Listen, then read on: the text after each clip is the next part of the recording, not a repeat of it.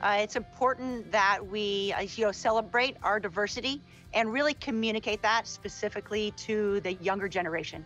Because I know there's kids out there that live, you know, perhaps in a community where there are barriers. And I want them to know that these barriers are being broken down.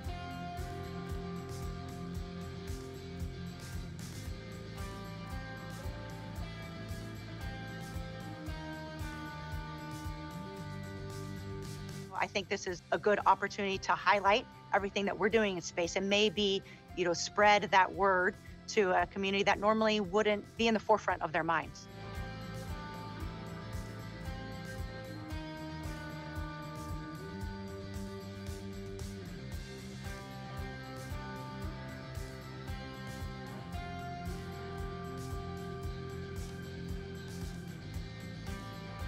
I'm extremely excited. It ha- it has been a, a long journey, but it's been so well worth it. You know, the training and preparation that we do to go to space involves flying, specific training on the spacecraft that we'll take to the space station, uh, a lot of really cool science that I never thought that I would have an opportunity to be a part of. And so what we're doing in low Earth orbit uh, not only trains the astronauts, but provides the technical uh, development and the operational concepts that we're going to need to live sustained human presence on the moon and eventually take us to Mars.